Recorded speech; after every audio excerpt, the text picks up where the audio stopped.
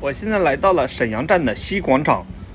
西广场工程于二零一九年五月开始进场施工建设，经过五个月各参建单位的共同努力啊，于二零一九年十月一日正式开放。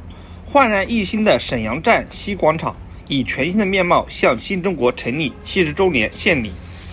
沈阳站西广场总占地面积六点八万平方米，其中作为行人集散功能的地面广场。占地三点六万平方米，广场的东侧与沈阳站的站房连通，西侧紧邻正宫街，主出入口位于水塔的西侧。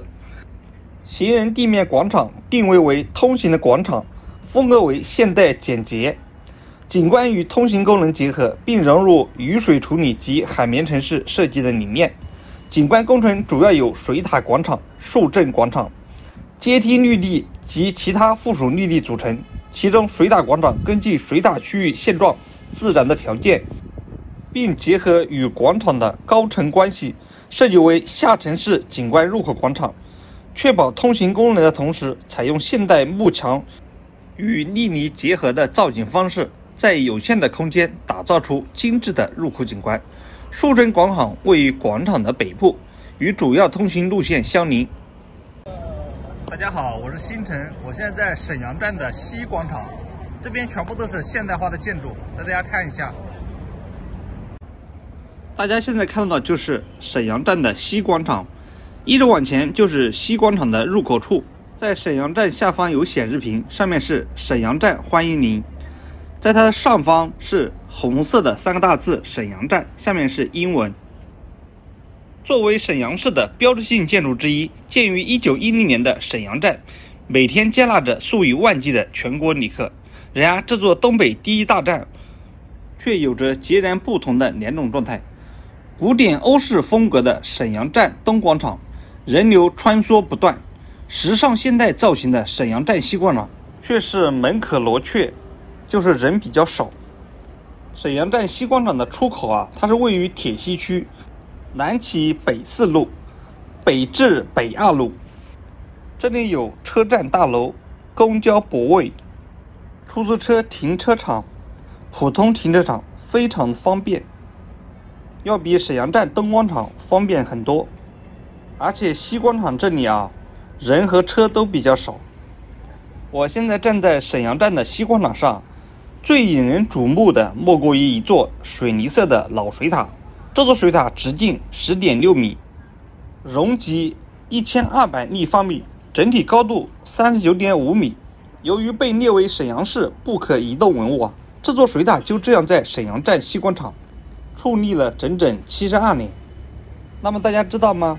水塔曾经是城市里最高的建筑。沈阳城市里的水塔，水塔是上个世纪供水设施。承载着给城市和工厂提供生产和生活用水的保证，是城市里必要的配套建筑。由于科技的发展，更方便占地小的危机供水已经取代了过去的水塔的作用。原有的水塔已经退出了城市的建设的需要。现在人们对于水塔的了解已经不多了。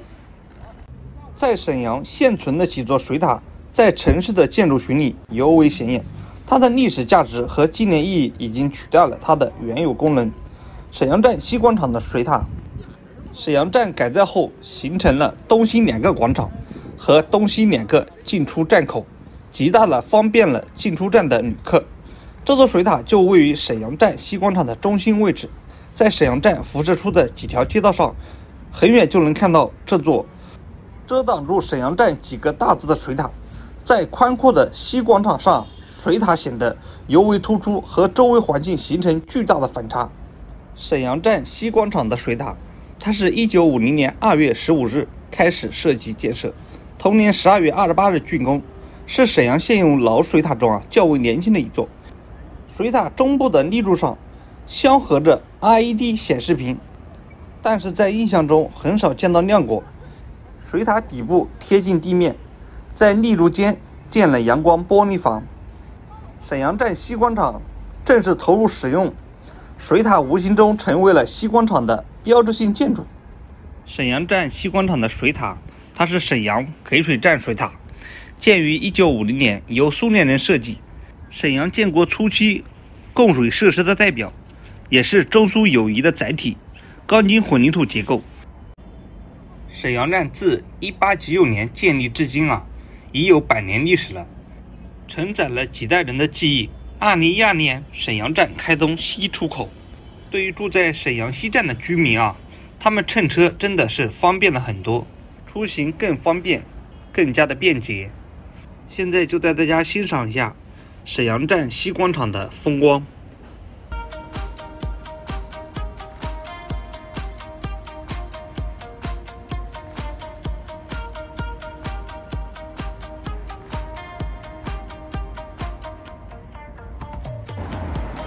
我现在在正宫街，左手边就是沈阳站西广场，这里一直往前就是铁西中德装备园，距离中德园二十二公里。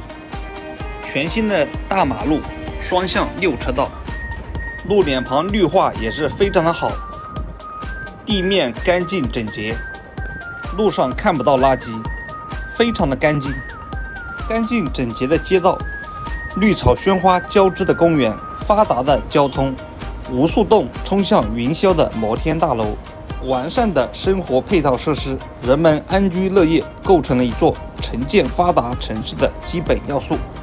中国城市建设水平五十强榜单，沈阳排名第十一位，力压杭州、大连、苏州和长沙。东北第一城的确厉害。这几年去过沈阳的都知道啊，城建发展啊，速度太快了。这是一座高楼林立、繁华干净整洁的城市，越来越有国际范儿。时间过得很快，本期节目就和大家分享到这里了。我是星辰，感谢大家的收看，我们下期再见了，拜拜。